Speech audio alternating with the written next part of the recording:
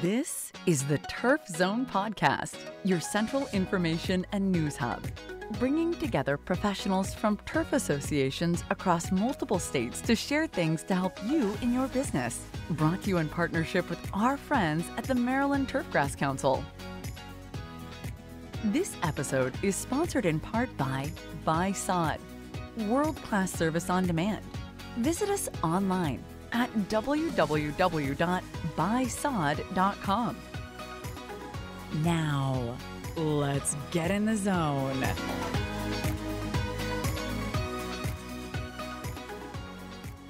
In this episode, we feature an article titled The Basics of Field Testing by Kyley Dickson, PhD, and John Sorochan, PhD.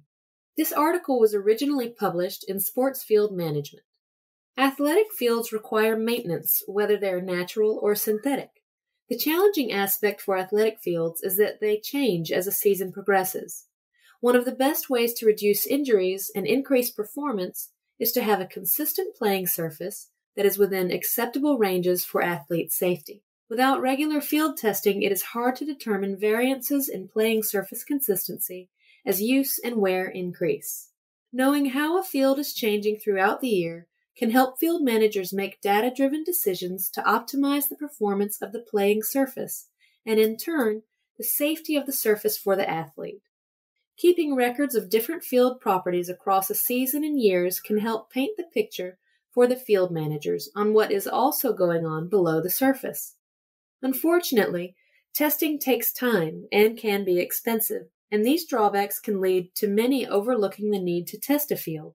However, testing is another important tool to have in the field manager's toolbox. One of the main benefits of testing a field is it indicates consistency and characteristics of a field's impact on athletes. Tests that are conducted give clues to the health of a field and help identify maintenance practices that are needed.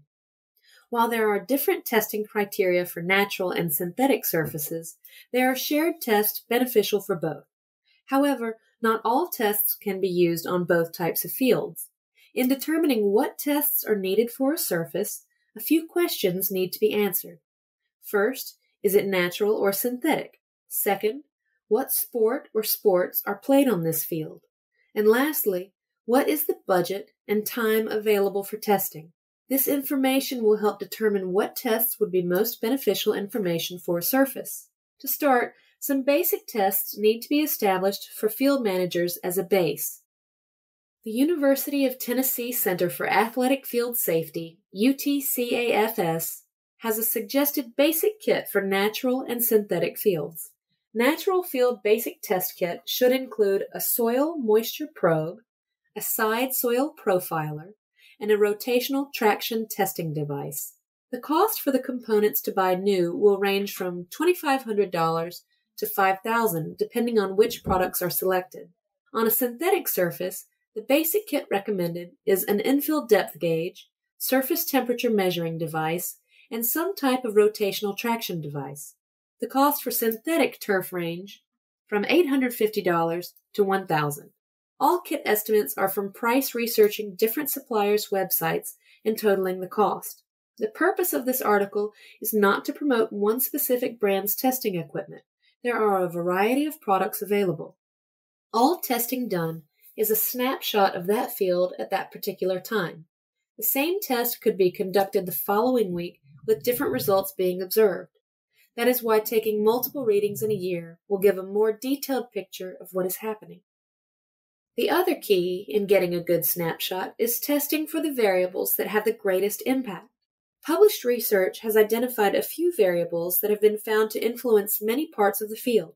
For natural grass fields, the soil moisture content of the field has been found to impact surface hardness, traffic tolerance of grass, rotational traction and resistance, increase in soil bulk density when trafficked, head injury criterion, and translation traction.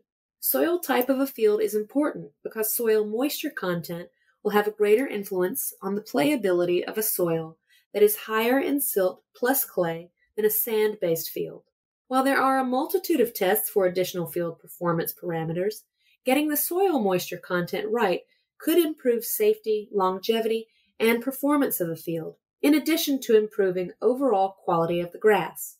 There are several different kinds of devices that measure soil moisture, and most of them can test fields relatively fast. Another tool for natural grass is a side soil profiler. This is a device that lets you take a side cut out of your field to see what is really going on below the surface. This device can be used to determine root depth, layering issues, black layer, and buried objects, just to name a few. Figure 2 in our show notes shows a sand based root zone that has a pocket of clay preventing consistent grass growth. The grass above the clay was worse than the surrounding areas, and a soil profiler revealed the problem. After a soil profile is taken, it can be reinserted back into the area tested with minimal surface disruption.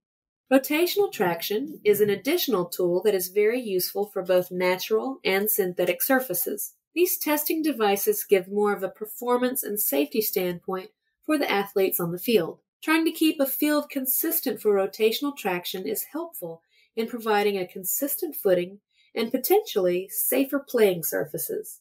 Rotational traction has been associated with both lower extremity injuries and grass health. The smaller portable devices are relatively easy to use and quick. These devices will slightly disrupt the playing surface where tested, but it is still considered minimal surface disruption. For synthetic turf, infill depth can be just as important as soil moisture is for natural grass. The infill depth is something that is taken for granted on many synthetic fields.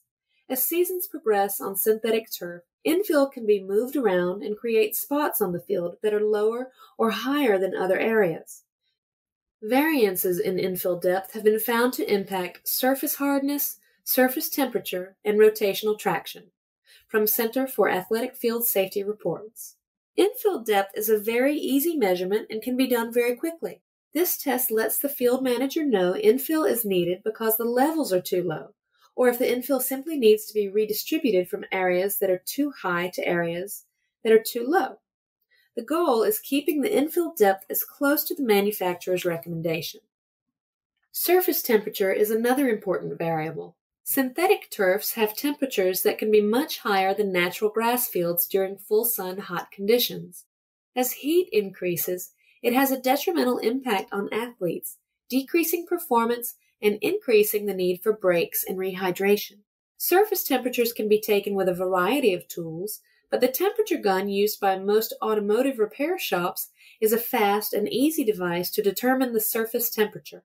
While little can be done to reduce synthetic turf temperatures after a system is installed, educating field stakeholders of potential heat concerns is one potential plan of action. Difficulty comes in choosing what tests have time and the budget to be completed. The last thing a field manager needs are tests that take a long time to complete. Some of the tests do not need to be collected before every game, some could be done once a year. In addition to the cost of testing devices has a wide range from affordable to very expensive. Each edition of a test can increase the cost and time to complete, but give greater detail about the field. There are companies that test both natural and synthetic athletic fields. These companies can provide a wide range of tests and provide a summary of their findings and recommendations for any actions needed. While more information is always desired, selecting the most important tests can save time and money. Tests described above are just the basics, while there are many more tests available if budget and time permits. Another consideration is what sports are played on the field. In soccer, FIFA has requirements about ball roll and ball rebound that take place on a field, while in football, knowing surface hardness and rotational traction are of greater importance than ball to surface interaction questions. One way to help determine what tests are important for a particular sport are generally listed by a professional sports governing body, for example, the FIFA Handbook. Currently, most field testing is only required at the professional level and some sports do not have sport specific tests.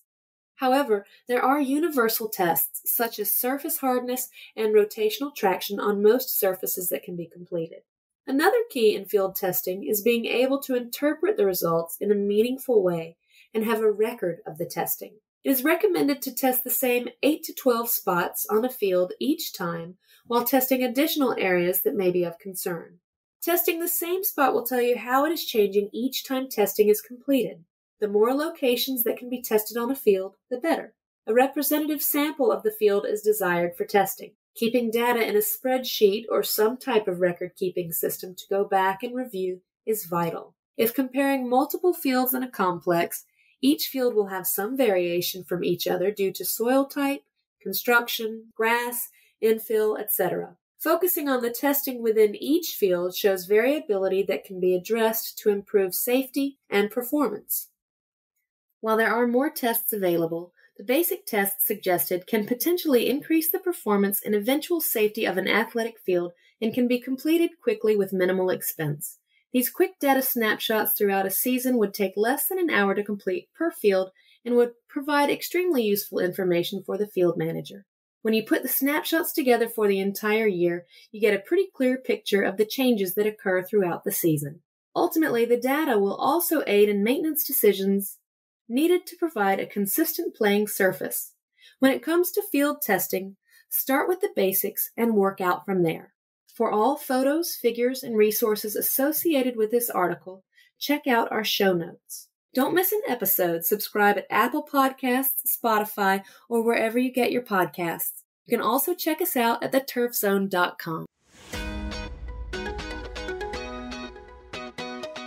You've been listening to The Turf Zone. Thank you to our sponsors, including Buy Sod, world class service on demand visit us online at www.buysod.com. For more episodes of The Turf Zone, visit theturfzone.com and subscribe on Apple Podcast, Stitcher, or your favorite podcast app.